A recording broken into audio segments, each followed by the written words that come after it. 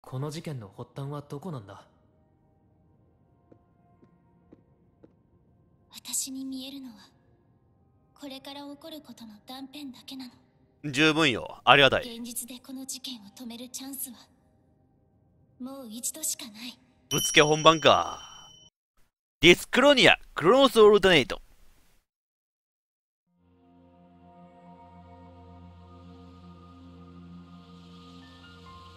ディスクロニア、クロノスオルタネイト。いやー、鈴木氏だよ。とうとうやってまいりました。完結編エピソード3の時間がやってまいりました。今、発売された2日後の2023年7月16日です。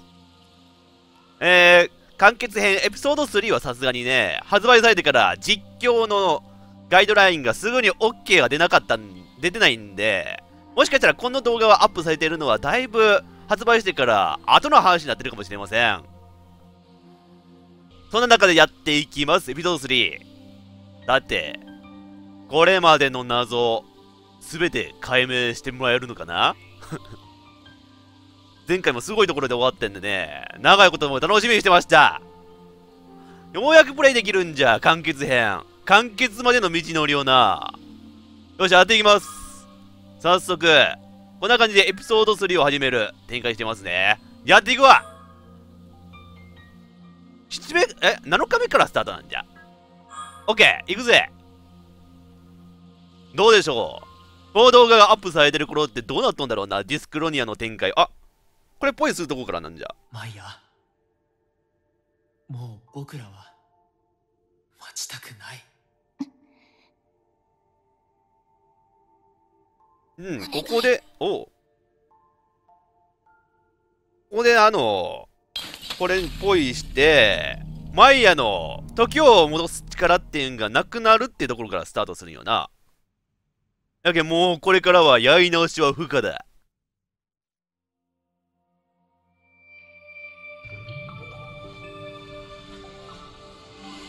この空間はどこれは前でも見たことあるけんね。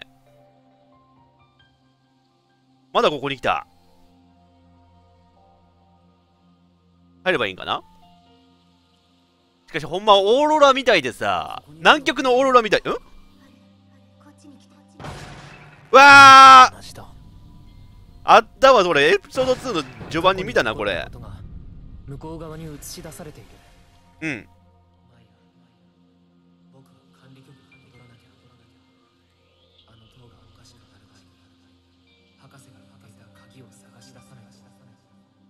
エピソード2のなんか展開はまだ2距離の感じになってる。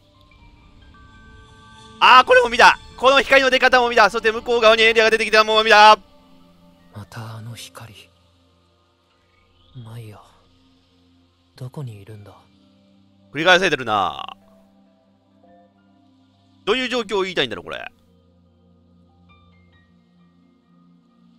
現実世界でマイヤが起きたけんな。おこれも見たなエピソード1の序盤で。前に消えた。時計塔の鍵。12年の時を超えてきた。あの人が持っているはずだった。うん。だけど。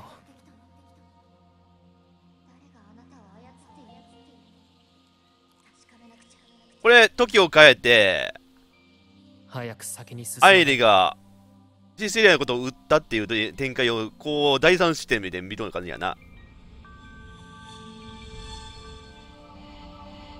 エピソード2のラストでさ、マイヤが起きたんよな。現実世界のマイヤが。もうシステリアじゃなくてマイヤが起きたんよな。その直後の話がちょっと早う見たいところですが、とりあえず過去のおさらいみたいな感じの映像を見せられてますね。これは解析に協力することで僕は自分の過去を知った。バッチリこのエピソード2の内容をおさらいするような内容が流れてますね。母さんと過ごした時間を。はいはい。あーこんなことあったわ。すごい生々しいボーって音して。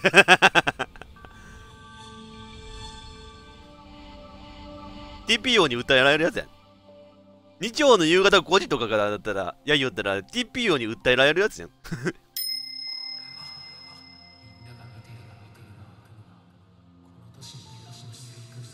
そうだそしてこれが最終局面やな。この都市の崩壊を止めないと今ならまだ間に合うはずまだ止め直すんか？あの子は僕が一日先の未来の夢の中にいると言っていたうん。マイヤおった！ーまあいいやまあいいや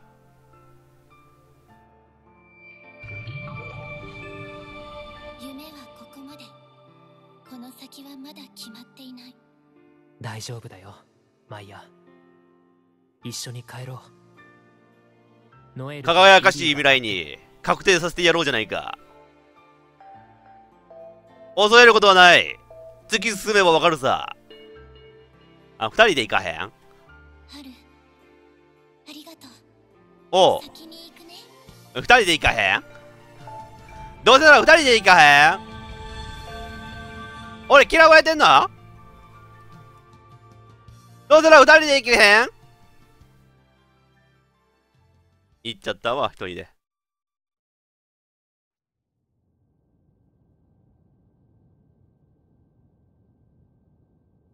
ほんで多分あのシーンあたりに、ん？あー、ここね？ここがね。あの塔が再起動してから今日で7日目か早くマイヤを目覚めさせてあげなさいわかってるこ。のまま拡張部にとどまっていると最悪の事態に巻き込まれるよ皆まで言うな。この後の展開はある程度分かっとるから。エピソード2にもラストにもこんなのがあるかけんな。マイヤで、こっち行ったらって言われたんやな。マヤの部屋に書き込んだらって感じじゃ。ここここここ。春いたの？シャフリーノエル。ノエル分かってると思う。このシーンはマイヤは拡張何回か見たの中にいたんだノエルはそれを知ってたこの会話も聞いたな。拡張夢の中に姉さんの一部があることは知ってたよでも今は拡張夢に姉さんの気配を感じないそう。こっちに戻ってくるから。マイヤはもう大丈夫なんだ一回夢で見とるけん。あ、来たー姉さんがなんで一回目閉じた？なんで一回目開けたと思ってた？ら目閉じたおっしゃー。あー、まだ開けた。おままいいや、スタイルいいよね、これ。体細いよね。あ、この抱きつきシーンもさ、久しぶり。こっからよエピソード2はここでさ、切れたけんさ、確か。その後の展開よ、問題は。どんな会話があるのか。あ春私を迎えに来てくれてありがとうマイヤをさ、こう、正面で向かい合って、座ることがさ、すごい新鮮ですな。初めてやけん。あー、お膝の上に乗っかっちゃって。マイヤ君にはあの子の記憶があるの？システリアな。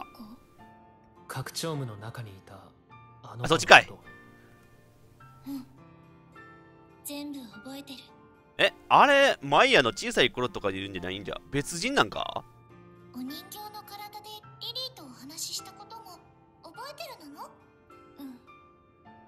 もう全部思い出せるの3年前のこともそれめっちゃ重要なやつやん。お前が気を失って目覚めなくなった頃からってことでね。と3年前のこと春は何か思い出した？3年前の出来事なんか喋ってみてよ。僕は3年前の思い出が気かかるのよ。少しずつ記憶が戻ってくる。だけどわからないこともどんどん増えていくんだ。そう、それがディスクロニア、クロノスオルタネイト。僕はどうして3年前博士の実験に協力してたんだ？わからない。春は教えてくれなかったんだうん、これがさ、この二人を巻き込みたくなかったからって言うんだったらさ、俺は嬉しいんやけどな。自分が何を考えてどうなんだろう。でももしかしたらマイヤがずっと眠ることになったのも僕のせいかもしれない。うん違うよ。あれは私が。思い出したの。何よ3年前のあの実験の朝博士と大切な話をしたんだ。なんでない？博士はあの時計が動き出したらあなたは死んでしまうと言ってえ？なんで？それがあなたの運命でどうしても変えられないって。私博士と約束をしたの。私が拡張夢の中で未来の分岐をたどるって。あ、ハロが、どうにかハルが死なない運命をたどれるんかな。あなたが死なない未来を見つけるまで。ああ。それでマイヤは拡張夢に。可能性模索してくれよったんじゃ。私を拡張夢の機能の一部にしたの。そして時計の鐘が鳴った時あなたが拡張夢にとらわれるようにした。きっとこの時のためにそっか。こう7日の出来事っていうか、ハルがこの力を得られるようにしてはもう仕組まれたものだったんやな。もうな、ん他の誰でもなく、ハルの未来を助けるために。春これから起こる事件のこと覚えてる？えーと、なんだろう。待って、それ、俺ら、やってないね。それ、エピソード2までの内容に入ってないね。初見の話来るね、みんな、ちょっと。めー、パッて開けて見よってよ、これ。管理局で事件が起こるんだそれか。それはやったわ。で、今の時間帯ってさ、まだ、局長も、アッシュも殺されてないんかそ。んなことどうしてわかるの？見たから。春はこの7日間ずっと私と未来の分岐を渡っていたの。意識は一日先の夢の中にあって体は夢の中で選んだ。最適な行動をなぞっていたはず。おい、プレイヤーがやってたってことってそういうことなん？ねリリー、すごい。すごい、なんか目つきの悪い顔でこっち見てるね、君。最近ちょっとぼんやりしてたのはそのせいなの？半分眠ってる感じだったのちょっと不思議だったのよそうな感じで見られとったん。春を死なせないためにそうするしかなかったのなるほどな。プレイヤーが辿ってたのは、その1日後の夢の中をプレイしよったんかな。でも今はもう起きてるなの？うんだからもうこの先はやり直すことはできないまあそれが普通は人生ですからね。管理局に行こそれが人生だわ。よっしゃ。つばく行けばあれう管理か。局で起こる事件を止めないと。アッシュも局長も死んでしまう。あ、マイヤリリーたち行ってくるのよ。待って二人何？どうした？わまだ本調子じゃないんやけん、お前は。寝てな。まだ安静にしてないとダメだよ二人で行ってくるから。ノエル俺ら二人で行ってくるから。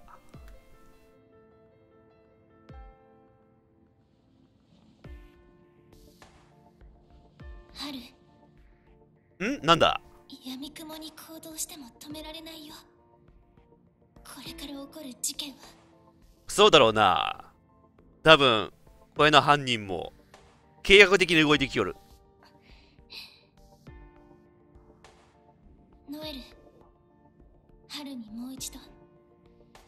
で起こることを見せたいの。あ攻略のヒントになるか？私を助けて。春。だけどもう時間が。春。これから起こる事件は一つの場所では終わらないの。お？全員が助かる選択をするのはとても難しいと思う。やばい。これ、マルチエンディングのパターンな、この言い方。だけど春が事件を調べればきっと望む未来にたどり着けるはずわあ、誰か、誰かは助かるけど、誰かは犠牲になる未来とか、そういうエンドであるんかなマルチエンディングか？博士の計画の協力者。収集ステータス更新。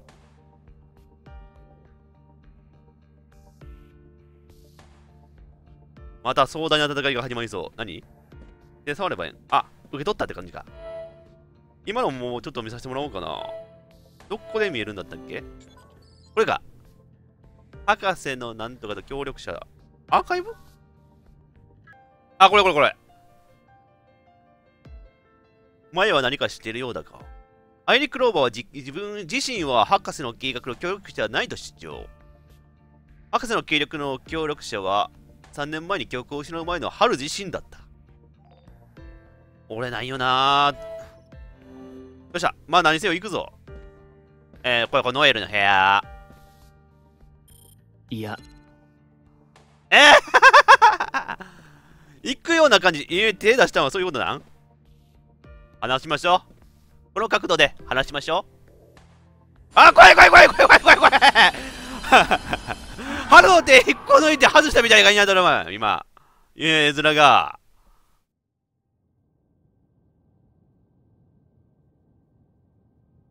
なんだこの空間はえ、これ初めて見る空間。何空間これこれ。未来が見えてんの時刻はあと1時間後。午前1時半くらい。うん。この事件に巻き込まれたのはアッシュと局長だけじゃなかったのか開幕アイリがそこに映っとる。あれは研究所の地下やな。この事件の発端はどこなんだ私に見えるのはこれから起こることの断片だけなの十分よ。ありがたい。現実でこの事件を止めるチャンスはもう一度しかないぶつけ本番か。クライマックス感があるね。絶対に間違えられないだからここに来たのおさらいっていうか、予習か。この時間の断片に入り込んでこれから起こる事件の現場を調べて、うん。それぞれの場所で何が起こったのかそれが分かればきっとこれから起こる事件を止められるよよっしゃ。うん行こうまだ起こっていない事件を捜査してその発端を突き止める つくづくチートじみたこと知ってるよな、お前事。件を止めるにはそれしかないまあ、確実に止めないと。この世界は。行くぜーこっちでいいかな？行くぜーうわー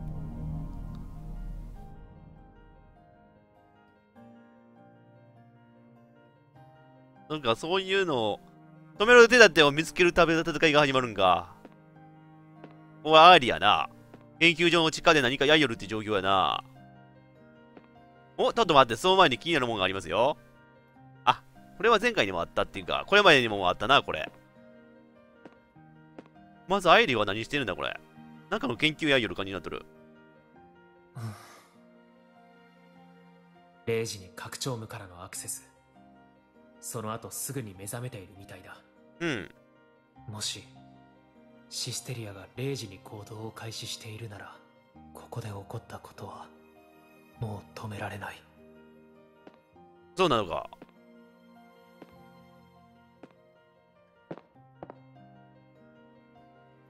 アイリさんの傷は右胸。レーザー銃による負傷みたいだ。システリアは目覚めた後アイリさんの銃を奪ってアイリさんを撃ちすぐに管理局に向かった。止められんってことは、もうアイリーの死は、覆らんのか？大丈夫かな？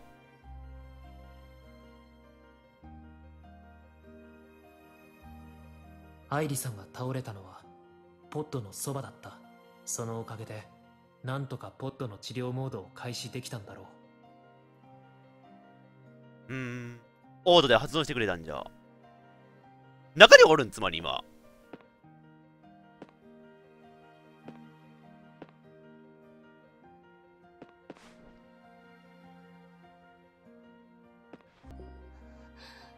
マイヤはアイリさんのことを知っていたんだよね。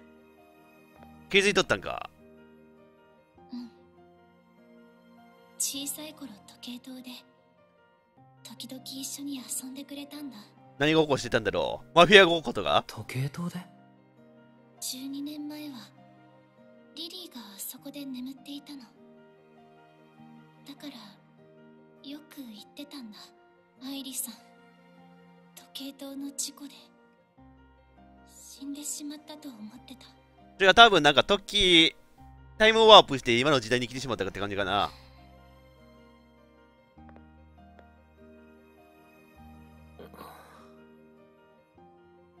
春なんだい。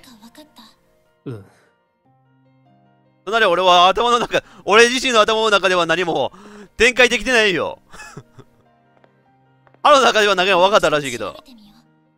オッケー。まあ、ここで起きて分かったこともあんまりもないけどさ。いや、分かったことはあっても理解はできないけどな。残念ながら。残念ながらな。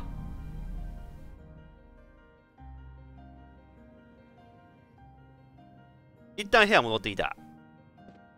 違うエリアに行こうってか。こっちは真ん中のエリア。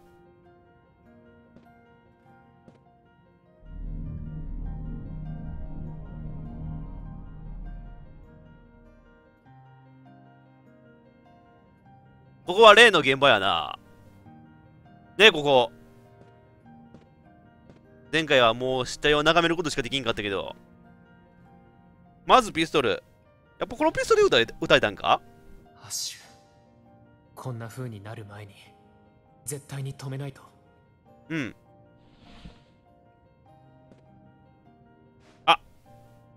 この銃は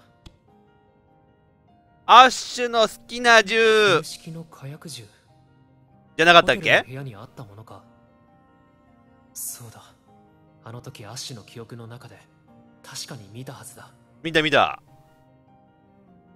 あ、これアッシュのじゃなかったっけ？確か。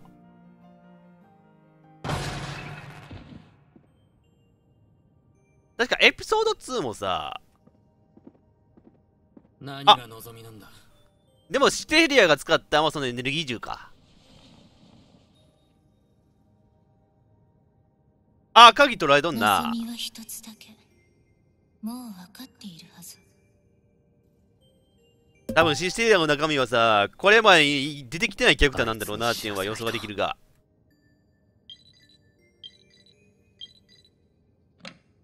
アッシュどこにいる？アッシュそしてこう電話が。そのタイミングで歌えたから、これ、曲中の声も入ったんやな。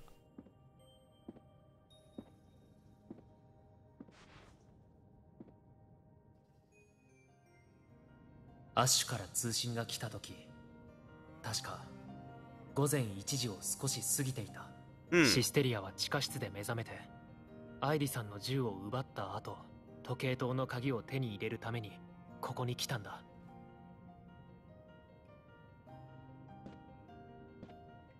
さて、局長の方は何か情報があるぞ。局長ご自身の、あー、そうやね。ここに鍵貼り付けとくんや。胸に鍵、えーなんか、鍵なんこれ。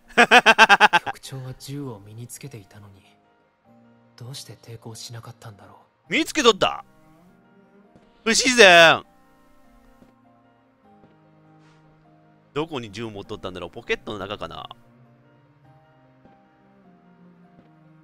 これなんだ？う局長の銃は発砲されていないあ、これ銃か？こういう形か、この世界の銃って。こういう形もあるってことだったっけ？小型すぎるな弾入っとんかせいぜいコナン君の麻酔銃みたいな感じやねん。えーと、これが？何これ？でも。何で書いてんのこれ？あ、いや。読めん。これは薬瓶薬瓶。エレイン・コーディア。局長の分のなんか薬やな。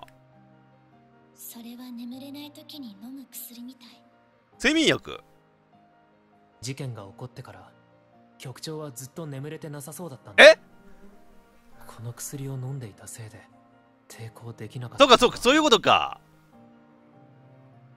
そういえばなんか歌われる直前が、いかにもさ、両手を上げとるっていう感じでもなかったしさ、目もつぶっとったやんなんだったら。そっか。眠っとったけんか。用意周到やなだったら犯人。あでもエレインコーディアやけん。え？どういうこと？いつも通り薬飲んだんやけど。たまたま眠っとる時に来てしまったとかそういう感じなん？どっち？どういうこと？か わからんね。春。なんだい？ここでおいハニー。起こったのか。最初に襲われたのは誰なのか。それが分かればきっとこの事件を止められるよ。順番的にはアイリがやられてそのアイリの銃を奪ってこっちに来とる感じ。アッシュがちょっと襲われて倒れたところにその後局長が撃たれて死んだ。みたいな展開やったけど。春何か分かった？分かったことは分かったけどさ頭の中で整理できてるのはまだまだ話が別なんだな。話が別なんです。ぞ思い出してたんだ。何を？アッシュは午前1時過ぎにあ。僕に通信をくれたんだ。つまり襲われたとしても即死ではなかったんよな。撃たれた後僕に何かを伝えるために。で何から話せばいいかみたいなこと言いよったけどね。この事件のことを伝えたかったのかな？わからない。けどアッシュから通信が来る前にここに来ることができればきっと事件を止められる。全容がわかるな。この場所も調べてみよう。よしもう一つエリアあったもんな。違う場所が調べれるっぽいかったもんなと。こうやってみん、えーこれから起こるであろう出来事をさ現場で見えるっていうほんまチートじみたことをやっております。過去を見るだけでなくてさ前やおることで未来が見えてしまっています。そして最後のエリアだ。ここどここれ？え？ケース遠崎でこれ。監視されたけんその部屋なんじゃな？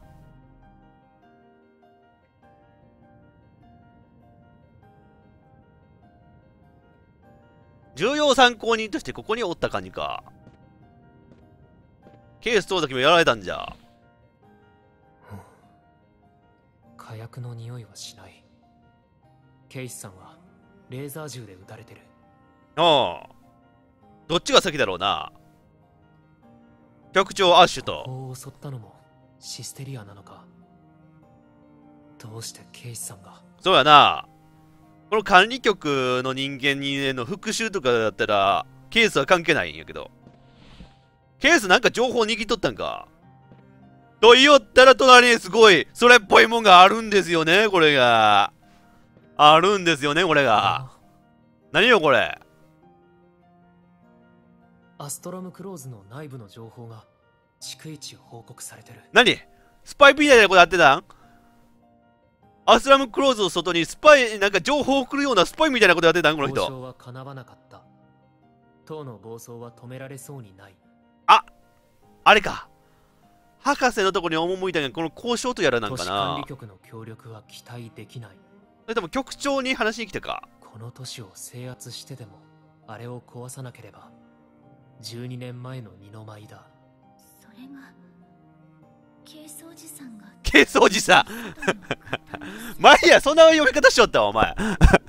お前、そんな呼び方でケースのこと読みよったわ、お前。送信時刻は午前1時少し前パネルに血がついている多分ケイスさんは撃たれた後最後の力でこれを送ったんだケイスさんがこのメッセージを送るのを止めないとこれ止めなあかんってことをさ、頭に入れて。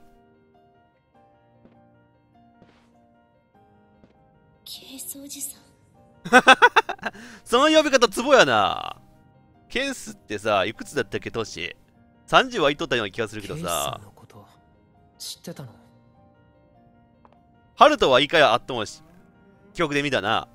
博士の家で会ったことがあるのまあ、あっとっても不思議じゃないかお。じさんが春を都市に連れてきた時にもう親戚のおじさんみたいな感じに言い方だったもんな。春はいつかまたおじさんと外を旅したいって言ってたんだよ。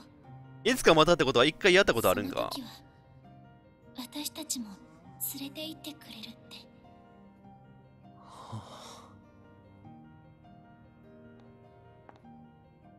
馴染みがあったんやな？フルハウスみたいな感じだったんじゃ。フルハウスのおじさんみたいな感じだね。春何か分かった？分かってきたな、結構。うん。情報送信を止めなあかんのな。してでも塔を壊す必要がある。これがアストラムクローズが外から砲撃を受ける理由なのか？送信時刻は午前1時少し前。このメッセージを送る直前までケイスさんは生きていたはずだ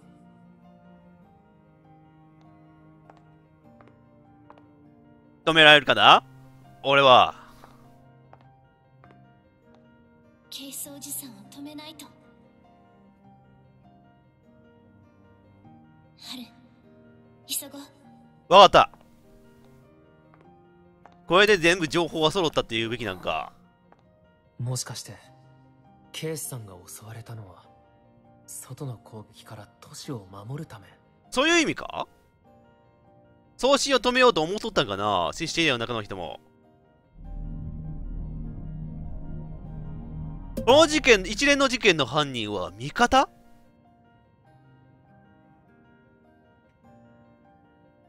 それぞれの場所で事件が起こった時間は分かった。あとはこの情報を組み合わせれば。大丈夫だよ。ここで見てきたことをつなぎ合わせればきっと止められるはずだからうんよし。戻ろうまだ考えは整理できていないけどここからは考えながら動くしかない変えてみせるさ。直感でな。戻ってきた。戻ってきたなのリリー僕らはどれくらい眠ってた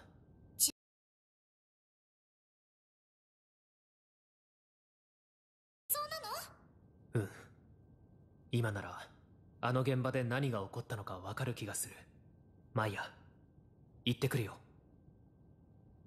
大丈夫二人ならきっと止められるよ信じといてくれ。信じて待ってくれ。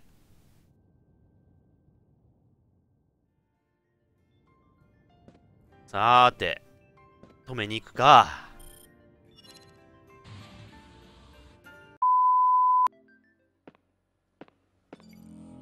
これなんだ？一番最初の目的地がさ、愛のとこだと思うけん、研究所行こうと思ったんやけどな。春今はもう目が覚めているようですね。ああ、あなたの目覚めと同時に拡張無のバグも消えた。ユースティス聞いてください。もうすぐ管理局が襲撃を受ける。それを止めないとこの都市は。拡張無を利用して未来の分岐を渡っていたあなたが言うならそれは確かなことなのでしょう。そうなんだよ。春事件は止められそうですか？何度かやってみるさ。僕はそのためにここに来たんです。必ず止めてみせます。手を貸すことはできません。私の干渉が良い方に向かう保証がない。うん。今はあなたの判断に委ねましょうありがとう。それは活かせませんとか言いそうだった声が。あのさ、た あの待ち構え方、あなたにこの先には活かせませんとか言いそうだったけん、ちょっとヒヤッとしたわ。そんな感じの見た目に見えたけんさ。なあ、リリー。これから起こる事件のこともうバッチリなの？えーっとねえ？結局、局長アッシュのところとさ、ケースさんのところ、どっちの方が先だったんか、いまいちよピンとこんかった。うん。情報を整理しよう。そうだね。その時間をください。被害者は4人。4人。え、4人？あれと1人誰だ？あと1局のオフィス。人誰？アッシュと局長。あ、4人か。そうか、4人か誰のこと数えてなかったんじゃ、今？俺、誰の数のこと数えてなかった、今？博士の家で愛理さんがあれ？さりげ、さりげなく、愛理のことをすっ飛ばしとった気がする。一番最初っていうか、そこ向かいよった花森さどこに行けば事件を止められるなの？研究所の地下だよ。見てたでしょ？いや、見てなかったか、こいつは。会話をやめるが出てきてる。えーっと、ラムファード邸じゃ。ここも近いやったけどな、アイリさん。すぐに博士の家に向かった方がいいかもしれないうん、地下が犯行現場だった。システリアだったんだシステリアが目覚めなければ事件は起こらないはずだでも管理局で事件が起こるのが午前1時前後ならもう人形は動き出しちゃってるかもしれないのよそうなのか。確かにそうだ他に気になる場所はないなの？え？都市管理局の医務室。本部。医務室？システリアは博士の家でアイリさんを撃った後管理局の医務室に向かったはずだ。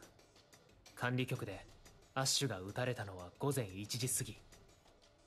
ケースさんが死に際に送った通信の送信時刻は午前1時少し前だった。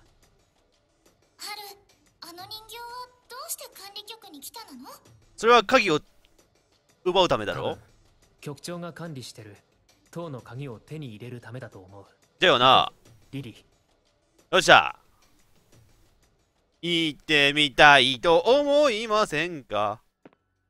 管理局に行かなあかんのな、つまり。えーと、管理局。あアッシュじゃなに、あんなところなんである。っけここなんかあったっけ？